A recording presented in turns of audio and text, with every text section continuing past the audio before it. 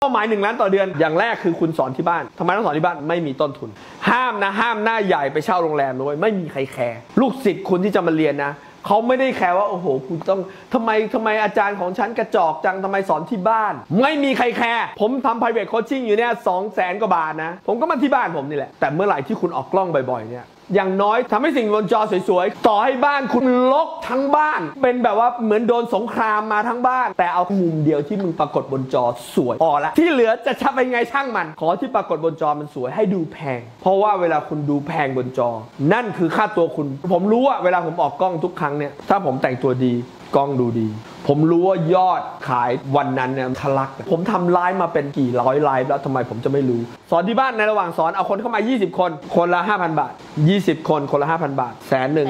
แล้วในระหว่างทำอัดวิดีโอไปด้วย เพราะเมื่อไหร่คุณอัดวิดีโอไว้ปุ๊บคุณขายออนไลน์แล้วถ้าคุณต้องการได้3 0 0 0 0 0บาทใช่ไหม60 คนคูณ5,000 ถ่ายไปแล้วคุณก็โปรโมทด้วยว่าอ่าใครนะครับ อยู่เมืองนอกมาไม่ได้ อยู่ต่างจังหวัดมาไม่ได้ อยู่กัมพูชามาไม่ได้ อยู่ลาวมาไม่ได้ คุณรู้ไหมว่าคุณจะลืมว่า เวลาคุณขายออนไลน์ คุณขายที่กัมพูชาและลาวได้ด้วย พม่าก็ได้ลูกศิษย์ของผมอยู่ในกัมพูชาในลาวเพียบแล้วก็ยอดสั่งจากกัมพูชาและลาวนี่เยอะมากนะครับ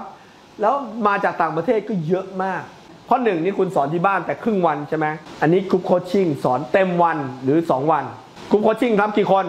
5-10ถึง10 คนพอเอา group coaching ทำที่บ้านนะจ๊ะแต่คราวนี้คุณจับมือสอน ถ้าอยากไปดูนะ SMC เอามาได้ SMC นี่ S น่าจะ 20 กว่าชั่วโมงอะถ้าคุณอยากจะทำกับธุรกิจความรู้นะ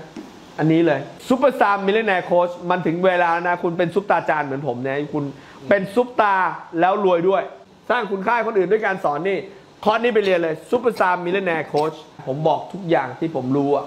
เกี่ยวกับเรื่องของการทำธุรกิจร้อยล้าน หลายร้อยล้านนะที่ผมสร้างขึ้นมาแล้วเนี่ย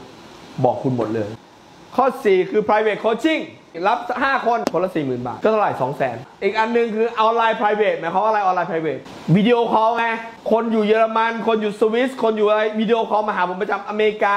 วิดีโอคอล private coaching กับผมเรื่อยๆ เลยตลอดเวลา เขาไม่ต้องเดินทางมา เพราะฉะนั้นออนไลน์ private ทำได้ 20,000 บาท 10 คนก็ 200,000แล้วยอดใช่ไหมต่อไปขายสูตรอ่าคราวนี้คุณขายสูตรได้ เจ้าเนี่ยเจ้าช่างม่อนคอมแพรคุณคิดดูนะ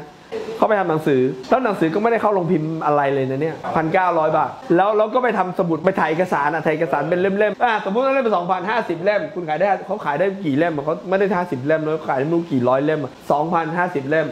แสนบาท อันนี้มีต้นทุนนิดหน่อย 20 บาทขาย 2,000 บาทอะ ต้นทุนต้นทุน 20ขาย2,000อะคนไม่แคร์คนไม่ได้มาวัดตรงนั้น ไม่ได้มาวัดกระดาษ คนวัดความรู้ สรุปนะจ๊ะเอ่อธุรกิจร้อยล้าน ถ้าใครสนใจธุรกิจร้อยล้านนี่บอกระบบธุรกิจนะครับไม่เนื้อหาไม่ซ้ำกันนะ มีอันนี้ให้ด้วยนะครับ ข้างในนี้มีสูตรมีอะไรเจ๋งไปหมดเลย มีบอกเริ่มต้นทำ YouTube ทำ Facebook ยังไงลูกศิษย์ของผมมาช่วยด้วยนะมาสอนรายละเอียด